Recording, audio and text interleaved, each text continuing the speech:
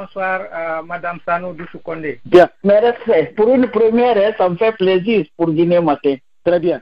Alors, je pense que mes confrères de, de Média d'Afrique et Star 21 TV, naturellement, et comme toujours, ils sont là et prioritaires aussi pour poser des questions à Madame Doussoukonde. Je crois que je vais me pour vous poser la première question, Madame Sano Doussoukonde.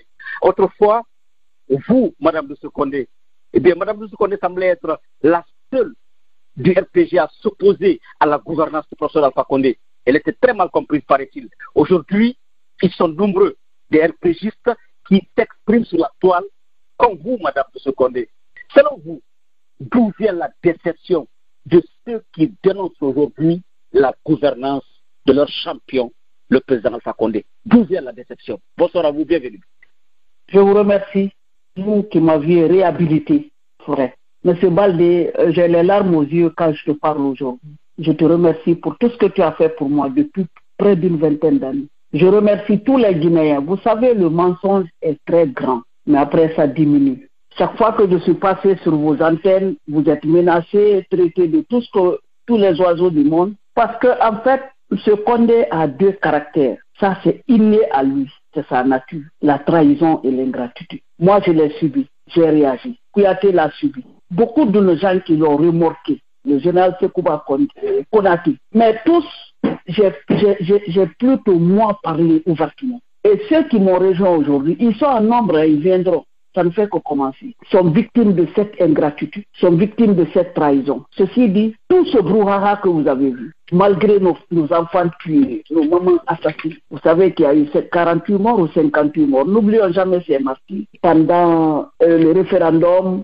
D'abord, la propagande d'un troisième mandat, le FNDC et tous nos opposants à l'époque ont marché, puis il y a eu des morts. Et jusqu'à, euh, si c'est le référendum ou les législatives, tout ça c'est émaillé de sang, hein, avec l'argent du contribuable guinéen. Alors, plus ils ont vaincu, ils ont assassiné, ils ont martyrisé, ils ont humilié les, les Guinéens dans leur majorité, chacun mentait autour du système, pensant qu'après tout ce brouhaha, toute cette médiocrité, où ils seront ministres, où ils seront directeurs de quelque part, où ils, en tout cas, ils auront leur perdien. Mais c'est mal connaître M. Alpha Condé. M. Alpha Condé, quand tu l'aides, il t'abandonne. Quand tu le respectes, il te manque du respect. Quand tu le supportes, il te lâche. J'ai dit ça depuis ma première sortie sur le langue. Les, les, les archives, Mais personne n'a cru. Oh, elle est frustrée. Oh, elle a fait ceci où elle a fait cela, tu le sais. Vous tous qui écoutez là à travers le monde, j'ai été traité de tout. Mais moi, j'ai dit aux Guinéens que moi, je vaincrai Alpha Condé. Et ça ne fait que commencer.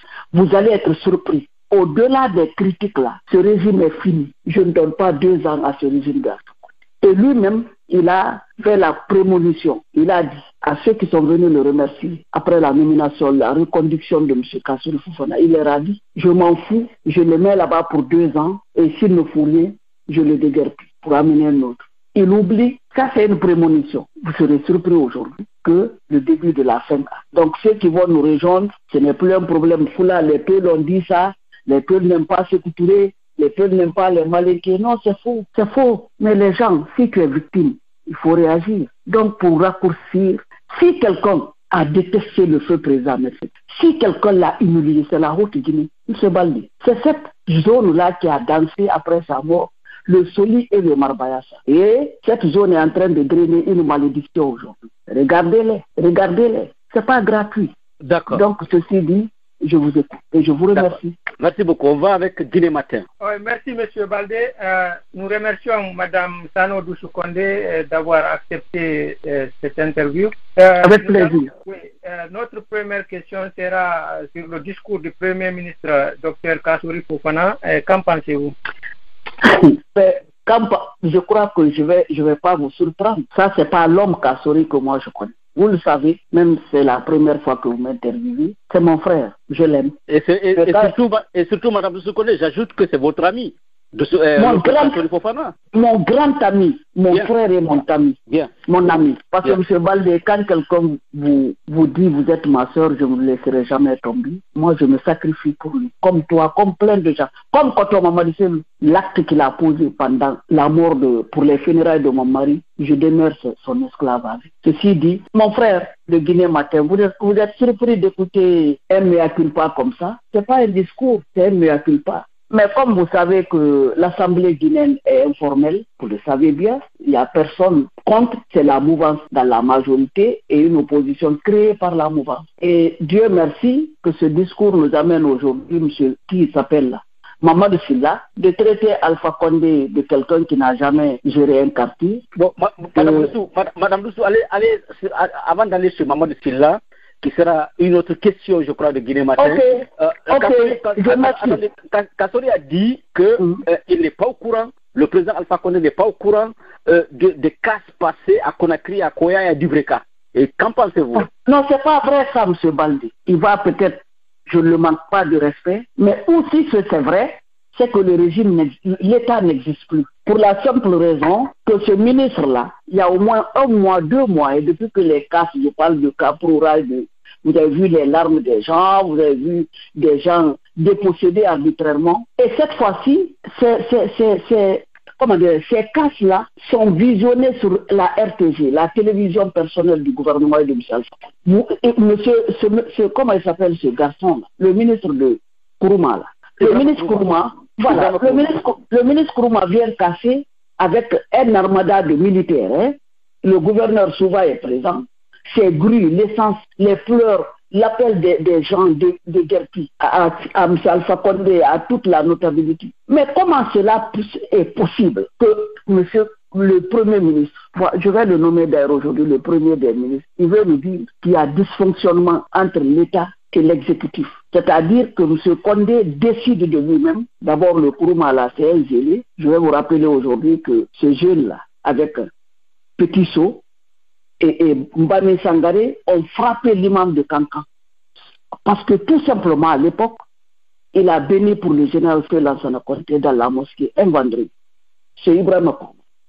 Donc les trois là sont en train de traîner cette malédiction pour un rappel. Ce n'est pas l'essentiel, mais pour un rappel.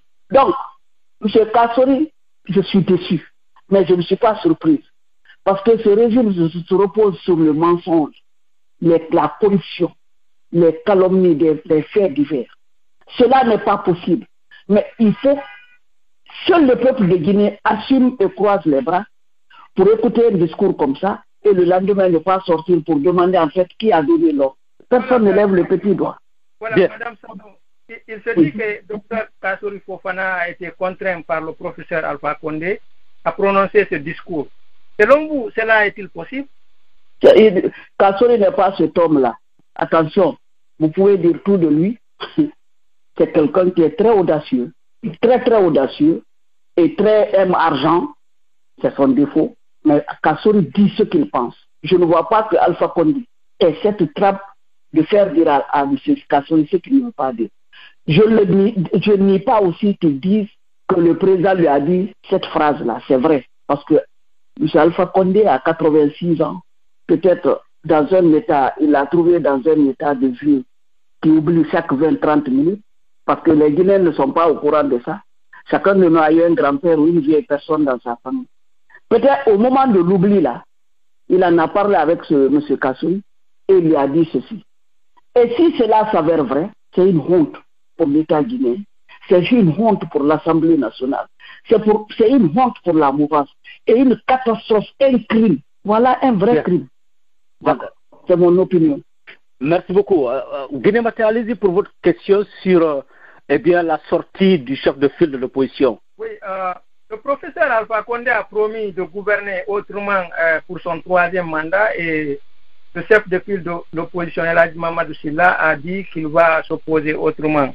Euh, Qu'en pensez-vous? Bon, c'est c'est un folklore. Vous a- vous l'a- bon, puisqu'il a dit qu'il va s'opposer autrement, il s'oppose au- aujourd'hui pas pour l'État, pas pour l'intérêt des Guinéens, ni pour la Guinée, mais pour son propre intérêt. Parce qu'il est malade, lui, très malade. Vous le savez, Dieu le sait. Et Madame Douce pour ce qui est de Mamadou Silla, il a, il a récemment, il vantait les mérites du président Alpha Condé et de sa gouvernance. Et bien aujourd'hui, il s'attaque à la gouvernance, il va jusqu'à dire qu'Alpha Condé n'a même pas géré un quartier un jour. Le RPG Arc-en-Ciel a déjà fait euh, une réplique à Mamadou Silla en le rappelant un peu à l'ordre. Je ne sais pas, qu'en pensez-vous du discours, surtout qu'il a tenu Est-ce que vous estimez que c'est parce qu'il n'a pas reçu l'argent? Non, mais écoutez, au contraire d'ailleurs, Mamadou Silla a dépensé le peu qu'il avait. Parce que selon mes informations, même son cabinet là, il les a payés pour qu'ils viennent avec lui. Selon mes informations. Je les mets entre guillemets. Tous ces gens qui sont venus comme cabinet à M. Mamadou Silla, il allait les chercher avec de l'argent. Y compris ton pauvre frère de Gourissi Kondé. Bon, quand ces gens-là viennent autour de quelqu'un analphabète français, anglais, arabe, c'est que le ridicule ne tue plus. Mais le vrai problème est que Mamadou Silla dit que le, M. Alpha Condé a 1 milliard 500 millions de francs guinéens de, de budget par jour et que lui, jusqu'à présent, il n'a pas reçu un copec. Donc, comme la mouvance là, c'est le restaurant, c'est un restaurant. Puisque lui n'est pas au restaurant d'abord, il réagit par rapport à ça. Il a besoin de cet argent pour ses soins. Il a besoin de, cet argent pour se retourner encore dans son petit luxe dont il est habitué. Vous connaissez Mamadou Silla? Vous savez, les Guinéens sont tellement rapides en matière. On le traitait, il était nommé le, le richissime homme d'affaires. Mamadou Silla, hein, le richissime homme d'affaires. Donc, la réaction de, du RPG. Mais moi, je suis contente, hein, monsieur, chose, mon frère Diallo, mon fils Diallo. Je suis très heureuse. J'ai gagné le combat. Nous avions gagné le combat. Parce qu'aujourd'hui, M. Alpha Condé a son opposition au sein de sa mouvance. Je pense que l'UFDG va un peu respirer. Nous allons être des observateurs, nous allons acclamer. Ces gens-là sont autour de l'argent. De Leur souci, c'est l'argent. La Guinée ne les intéresse pas. C'est mon opinion. Leur souci, c'est l'argent. Eh bien, à Kanka, Madame Douce Condé, eh bien, il y avait une question de, de barrage hydroélectrique pendant la campagne du président Alpha Condé en 2010. Il a gagné. Malheureusement, il n'y a pas encore un barrage hydroélectrique eh bien, qui a été installé du côté de la Haute-Guinée. Il y a eu réaction. La jeunesse a voulu sortir, mais on dit on s'en remet à Dieu. Les sages ont demandé aux jeunes de se taire et attendre le Tout-Puissant Allah et de venir en aide pour qu'on ait un barrage. Quelle a été votre réaction lorsque vous avez vu les religieux se mêler un peu à la politique? Non, mais vous savez, ça fonctionne comme ça chez nous. Hein. Il faut se dire la vérité. Mais malheureusement, il y a toujours l'autre côté de la rue qu'on pointe là. Sinon, vous avez tout, de suite vu peut-être un groupe soi-disant sage demander chez Kassouri. Vous avez vu ça? Moi, j'ai vu. Bon, celui, le Soti là, c'est d'abord un jeune. Je ne croyais pas que c'est un vieux. Moi, je l'ai connu, c'est un ancien footballeur. Euh, il est ami à mon mari. Il est allé, il était en Côte d'Ivoire. Hein. On l'a ramené après le décès de son père. Parce que tu vois, vous le savez, vous tous, c'est une structure traditionnelle. C'était une obligation que lui vienne succéder à son père. Et avoir la morale des sages, c'est différent. Vous savez, vous pouvez voir un jeune qui est sage. Vous pouvez voir un, vieux aussi qui, qui, pense comme un jeune. Ces sages-là dont on parle. Mais il a raison. Tous ces gens-là ont, des groupes électrogènes sur eux. Ils ne sont pas dans l'obscurité. Et le Soti, là, d'ailleurs, sa maison a été rénovée complètement par Guiter, Cabal Guiter, et meublée. Il n'a pas de souci. Je suis persuadé que Dr Mohamed Diané lui envoie une tonne de riz chaque mois. C'est clair, hein? Parce que je sais de. j'ai de la, dire que je suis de là-bas, je n'ai pas grandi là-bas mais j'ai des relations là. Et c'est ce qu'il a parlé avec mon mari souvent. Donc, ceci dit, ce n'est pas un problème de Dieu. On va revenir encore que chacun se bat pour son intérêt personnel. Mais est-ce que cette jeunesse-là était engagée réellement? Oui. Mais la milice cachée de Dr Mohamed Diani les a matraqués. Je suis au courant de ça aussi. On les kidnappe, on les frappe, on les emprisonne. Les femmes sont en train de pleurer partout. Et il continue aujourd'hui, Dr Diani, parce qu'il est permanemment à Cancam maintenant il, est en train d'étouffer la jeunesse qui se révolte là. Et cette machin. Et il y a un autre aspect qu'il est en train de faire. Il va à Cancam maintenant là. pour, pour, pour revenir à, ma réponse, de vous dire que l'opposition se trouve au sein de, de la mouvance aujourd'hui. Ghané est permanemment à Kanka aujourd'hui. Il a mis des jeunes euh, qui sont en campagne de, de désinformation contre Alpha Condé. Croyez-moi, n'hésitez pas, c'est moi qui le dis. Je vis ici. Je suis responsable de mes propos. Qui vont dire dans la, en Haute-Guinée, partout aujourd'hui, de se lever pour que, parce que Alpha Condé veut prendre leur pouvoir donné à Kassori, un sous à la Basque. Voilà, à la Basque. Attention, il n'a pas nommé quelqu'un. Donc, il y a une désinformation sur Alpha Condé et son régime aujourd'hui par Ghané que vous ne pouvez pas croire. Donc, Ghané est plus aigri aujourd'hui, il est plus déçu, il est plus choqué que Selouda l'incontraite, le, le, le, ce Selouda Diallo qu'on pense être. Non, non, non. D'ailleurs, je profite de votre micro pour lui dire de rester tranquille, d'observer. Maintenant, les opposants sont en train de se battre au sein du RPG. Je, même un des grands leaders de, de, ce mouvement-là, qui s'appelle la Guinéca, n'est pas aujourd'hui à Kanka. Ils l'ont fait fuir. On les, on, les, on les tue, on les envoie à, à on les torture. Voilà, pour qu'ils se taisent. Parce que eux, ça marche chez eux. Voilà. D'accord. Je vais voir si mes amis, si mes collaborateurs de Média d'Afrique n'ont pas de questions pour vous. Salut Ba, Boston, Abbas Dieng, Boston, non. Ibrahim Sori du New York, Tierno Ali de New York, non. Oum Salamata Keita, Alabama, non. Diariuba, Washington DC, non. Aïssatou Bani Balde se trouve du côté de la Guinée, non. D'accord. Mamadou Djuma Diallo, je rappelle que vous êtes le correspondant de Guinée Matin aux États-Unis. Avez-vous d'autres questions? Oui, euh, M. Baldé. Euh, madame, madame, vous êtes euh, membre fondatrice du FNDC ainsi que le président Selou Dalen Diallo. Que dites-vous du silence de la direction du FNDC par rapport à la réclamation de la victoire au présidentiel du 18 octobre 2020 de Selou Dalen Diallo. Oui, mais attention, moi je ne pense pas que ce soit un silence. Je pense que, parce que chacun de nous commet des erreurs, à partir du moment où, ça, c'est, parce que j'ai appelé ça non, hein, on parle, à partir du moment où le FNDC était contre le troisième mandat, était contre euh, euh, la Constitution, était contre les, euh, les législatives et tout ce qui, machin, tout ce qui est, tout ce qui était rassemblé au niveau du FNDC. Si par hasard, parce qu'il faut dire la vérité, des gens sortent du FNDC pour être candidats au présidentiel, ça a été une déception pour moi-même. Ça ne devrait pas se passer comme ça. Mais aujourd'hui, j'apprécie surtout la candidature de M. Selouda Lindian. Parce que ce que nous sommes en train de vivre actuellement, ce que nous sommes en train de voir actuellement, heureusement qu'il est venu dans la danse. Mais moi, quand il partait, je ne voulais pas. Et je lui ai dit personnellement. Il m'a convaincu. J'ai dit, si on n'a pas les moyens, parce qu'ils vont vous voler les élections.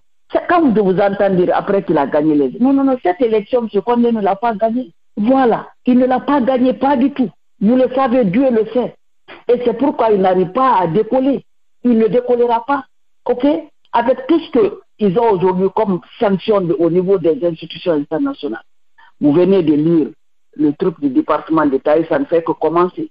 Donc, M. Diallo, pour dire qu'ils n'ont pas réagi, comme je veux pas, je, je, ils, ils, ont été choqués. C'est pas M. Selouda le seul, parce que Ousmane Kaba aussi est allé à la danse, non, il, a, il est allé au présidentiel, et qui encore? Au, au, au, sein du FNDC. Donc, leur silence, je respecte leur silence, comme je respecte la candidature de M. De Diallo. C'est ma réponse. Bien. Euh, vous êtes euh, euh, vous êtes toujours militante du RPG.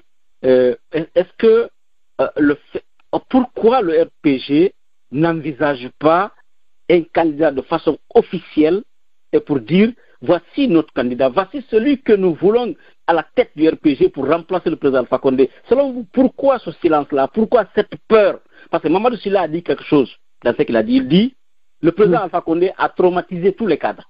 Est-ce que vous ne pensez pas qu'au sein du RPG, les gens aussi sont traumatisés? On ne peut pas sortir un cadre pour dire voici celui que nous voulons à la tête du RPG désormais. Il n'y a même plus de RPG là. Ah bon? Quand, oui, quand un parti politique, depuis le dernier congrès du RPG, c'était en 94. Mais c'est devenu une association de, de, de ceux-là qui veulent venir au restaurant, qui font les beaux yeux de monsieur. Mais écoutez, le bureau politique ne se rencontre. Le parti là est démoli. Je le dis, je sais de quoi je parle. Il n'y a pas eu de congrès depuis 1994. C'est Diané qui est bureau politique national. C'est lui qui, quand il va au réunion, c'est lui qui parle. Mais vous ne pouvez pas, vous ne pouvez pas savoir comment le RPG là subit aujourd'hui. N'écoutez pas ce qui, qui vous disent, selon les gens qu'on dit là, euh, les points du RPG là. Les, les, ceux qui parlent là, sur les trucs là, les, les, je sais pas comment on dit. Les, les communicants? Les communicants, c'est des communicants qui passent toute la journée, de lundi, vendredi, de bureau en bureau, pour de, tel donne 50, 500 000 ici, tel donne 1 million ici, tel donne. Et ça, c'est tous les bureaux des ministres. C'est ça le vrai RPG aujourd'hui. C'est-à-dire ce parti, ce pouvoir de Alpha Condé, qui n'est même plus le pouvoir du RPG, même arc-en-ciel, parce que son cabinet est, est vous avez vu l'avènement d'un ancien Premier ministre voleur du Congo qui aujourd'hui joue le rôle de Premier ministre à la présidence. Il a ramené tout à son niveau. Tout et tout. C'est-à-dire vous ne pouvez pas croire jusqu'où l'État n'existe plus dans ce pays. Il se Condé gère tout, il fait tout. Et laissez-moi vous dire un peu, vous faire un petit rappel, s'il vous plaît. Regardez un peu la Chine avec 1 milliard 450 millions d'habitants, ils n'ont que 28 ministres. Les États-Unis, nous vivons ici. 323 millions d'habitants, ils n'ont que 21 ministres. L'Inde, l'Inde, 41 ministres avec 1 milliard 200 millions d'habitants. L'Allemagne, 15 ministres, 88 millions d'habitants. La France, 23 ministres, 67 millions d'habitants. La Guinée, seulement les, les conseils, les militaires namatales la font 100 aujourd'hui. Mais qu'est-ce que vous pensez que le RPG existe là-bas? C'est Alpha Condé et ses collaborateurs de la sous-région qui sont aujourd'hui au pouvoir. Si un RPG dit qu'il contrôle, c'est fou. Vous avez vu sept membres du RPG. Vous m'écoutez? On vous écoute. Qui a fait la propagande contre M. Selouda Diallo, euh, l'UFDG à Safran. Qui a, qui, a même préconisé que Mme Halima Diallo doit aller en prison. Moi, elle ne me connaît même pas. Cette Mme Bangoura Fatou Doumbia. Avec tout ce qu'il a dit, le RPG l'a envoyé à la mer. Il est dans le bureau du maire de Matoto. Vous savez comment lui, il fut maire. Il est, il, est, avec tous ces gens. Cette pauvre femme est en prison aujourd'hui parce qu'elle a, elle a dénoncé l'attitude que les RPG subissent au nom, euh, par rapport à, à Balo et Ghané. Mais ils sont allés le cueillir la nuit à 4 heures du matin. Elle croupit en prison. Ça, c'est le parti au pouvoir. Donc, quand vous voyez ça, là, tout ça, c'est que le RPG n'existe. D'accord. Merci donc, Madame de Seconde. Je ne sais pas si Guinée Matin a une dernière question. Oui, euh, je voudrais demander euh, ces Je, c'est, c'est des, non, c'est des gens qui m'appellent. Vous m'excusez. Je, vous m'excusez. Voilà. Pas de problème. Comme ça, il faut dire. Le RPG n'existe plus. Sur le papier, oui. Mais comme parti, non. Guinée Matin va partir pour sa dernière question. Oui. Oui, euh, je, je voudrais demander euh, qu'est-ce qu'elle ressent par rapport à, à l'arrestation de son fils euh, et Suleiman Kondé et tous les autres opposants qui sont incarcérés injustement aujourd'hui euh, dans les géoles euh, de Conakry. Mais qu'est-ce que vous pensez d'un, régime dictatorial? C'est un régime dictatorial. Mais vous savez, je suis frustré, je suis malheureuse, hein? je pleure. Mais je crois à cet homme, je crois à mon fils, je crois en Suleiman Kondi. Et j'ai été fier de ses propos devant ce petit procureur de Kouanjaï, là, sans famille, là, qui n'a que qu'un chien comme famille, ni femme, ni enfant, un criminel, qui est à l'aise en condamnant ces jeunes, Madik sans frontières, tous ces jeunes, Suleiman Kondé, tous ces, tous ces pères de famille qui sont aujourd'hui séquestrés, parce qu'eux, ils ont les moyens. C'est seulement la dictature qui fait ça. Et je vais profiter de votre micro pour dire merci aujourd'hui à mon frère Selouda Lengalou, qui prend soin de ses prisonniers, selon mes informations, parce que je n'ai pas accès à eux. Mais ils m'ont informé que M. Selouda Lengalou, de mon fils Suleiman Kondé, à tous ces détenus politiques, tous ces détenus politiques séquestrés, il s'occupe d'eux, il est en contact avec leurs familles. Bravo champion, M. Diallo. J'ai les larmes aux yeux, mais que Dieu vous bénisse. C'est comme ça naître et grandir dans un pays. Ça ne triche pas.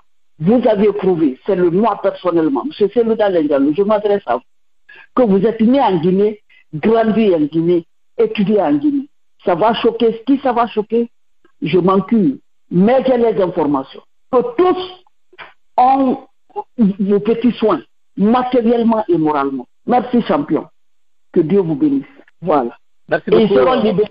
Ils seront libérés. On ne peut rien.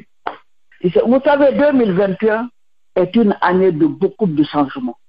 Vous avez vu Macron qui change aujourd'hui l'ENA, hein, M. Baldi. L'ENA, c'est l'école des nantis qui doit devenir une école publique, ouverte à tout le monde. L'ENA existe depuis Napoléon. Donc, M. Condé, comme je vous l'ai dit, que ce régime est fini, complètement fini. Il est possible que ceux qui les ont emprisonnés aujourd'hui les remplacent. Cela arrive hein, partout dans le monde parce qu'ils sont arbitrairement arrêtés. Ils sont kidnappés, privés de tout. Et ce, ce n'est même pas Alpha. Que si Alpha dit, si M. Kassori dit aujourd'hui qu'il n'est pas au courant, que Alpha lui a dit qu'il n'est pas au courant de la casse là, c'est que peut-être ce n'est pas Alpha qui a arrêté tous ces détenus politiques. C'est eux qui, ceux qui veulent le succéder, qui veulent démolir l'UFDG, sont en train de créer cette messe-là. Regarde qu'un détenu perd son père en prison, il est en prison. On le prive de, participer au funérailles. Même aux États-Unis, ça se fait. On, met on libère des prisonniers ici pour aller enterrer leurs proches. Ça se fait ici. Mais en Guinée, on refuse que ce jeune aille enterrer son père. Et M. Condé, ce n'est pas sa première fois. Il l'a fait avec Kibou, qui est devenu son colibé aujourd'hui, qui est devenu son, son, son griot public. Il a empêché Kibou de venir enterrer son père en Guinée. Et Thibault a dit de la Gambie qu'il ne va jamais le pardonner cela, qu'il le combattrait et qu'il va même y faire une guerre armée contre lui. Les gens existent.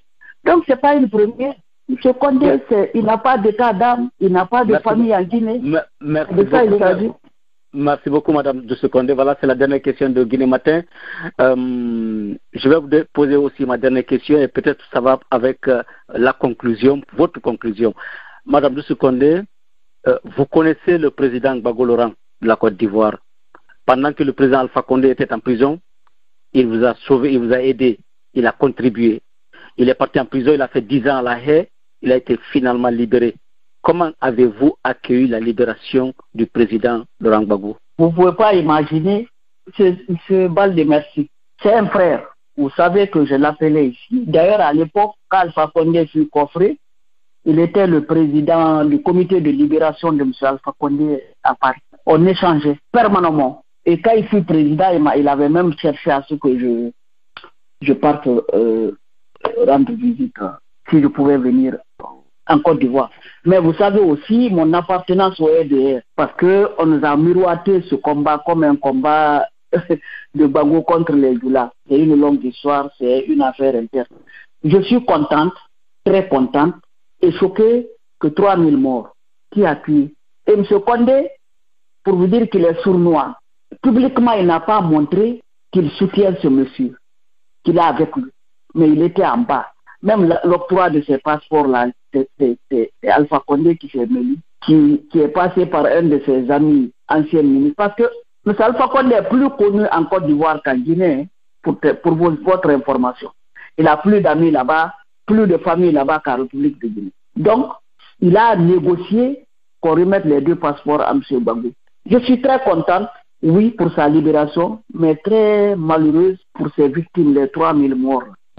Je, suis malheureuse pour eux, mais j'attends aussi que l'autre côté, parce que c'est un procès d'un côté, que l'autre côté, c'est-à-dire la rébellion, euh, tout ce qui était organisé, dont il semblerait financé par M. Ouattara, nous voudrons que ceux-là aussi viennent nous dire qu'est-ce qui s'est passé. Parce que tu le sais, je fus celle qui a organisé la marche des femmes africaines lors du 8 mars ici, quand il y a eu l'assassinat des huit femmes pendant la, la, fête du 8 mars en Côte d'Ivoire. Et la suite, vous le savez. Je ne suis pas. Il y a des morts, M. Baldé. Quand le sang coule, je ne suis pas tout à fait heureuse. Même M. Bago, félicitations à lui et à Blégoudi. Que Dieu le meilleur juge, c'est Dieu. Mais si vous pensez que, que Alpha ne l'avait pas soutenu, non, Alpha soutenait en bas. Même ses négociations avec Macron aujourd'hui, c'est Ouattara qui, fait tout ça. Il se fait inviter, mais ceux qui sont invités sont déjà là-bas. Et, Adema et Ouattara. Lui, il vient pour prendre les médicaments et autres contre le Covid. Parce qu'il ne faut pas qu'on nous trompe pensant que Macron l'a reconnu, Macron l'a invité. Il vient chercher ce que tout le monde vient chercher. D'accord. Merci beaucoup, Madame Sano de Secondé. Merci d'avoir répondu euh, à nos questions. Merci à vous. Merci également à notre confrère de Guinée Matin et pour cette interview. je vous reprends très, très, très prochainement si Dieu le veut bien. Merci beaucoup. Vous, me, vous me permettez, vous me permettez Allez-y. Je vais envoyer un message à M. Kassori Fofana. On vient de me faire lire une de ses interviews où il dit qu'il est, est, de la basse-côte, qu'il ne peut pas croiser les bras, qu'on casse les maisons de la basse-côte. Je ne suis pas d'accord. Euh, je dirais à M. Kassori, mon frère, mon ami, que la basse-côte n'appartient pas au Soussou. La basse-côte, le peuple qui est né à basse-côte est basse-côtier. Le malinqué qui est né en basse-côte est de la basse-côte. Le Soussou qui est né de la basse-côte est de la basse-côte. Le forestier qui est né de la basse-côte est de la basse-côte. Donc ces propos ethniques qui sont d'ailleurs euh, euh, tout le temps de rigueur avec ce régime-là. Comme Alpha Condé a dit 3 contre 1, ça continue. Mais M. Kassori Fofana, vous n'êtes pas le premier ministre de la basse-côte ni des basses Vous êtes le premier ministre de la République de Guinée. Je profite de votre antenne pour le dire. Et je reviens encore, battons-nous que ce mois de carême soit un mois de carême de toutes les prières des Guinéens pour nous débarrasser de ce pouvoir fantôme, je ne sais même pas comment le, juger, et que la vérité triomphe. La vérité triomphera. Voilà. Je vous remercie infiniment et je serai toujours à votre disposition. Je salue le peuple de Guinée. J'encourage la jeunesse dont on n'en parle pas. Depuis que M. Condé est au pouvoir il y a 10 ans, on ne connaît pas le nombre de chômeurs. Les jeunes ne sont pas employés, ils sont victimes. Mais la révolution va déguerpir ce régime. Je vous le dis aujourd'hui. C'est une révolution. M. Alpha Condé sera un ancien président en République de Guinée et il sera déguerpi par une révolution générale.